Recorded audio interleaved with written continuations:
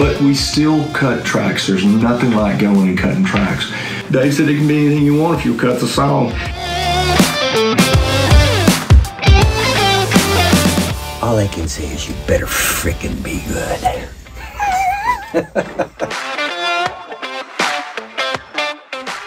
Think about it, darling.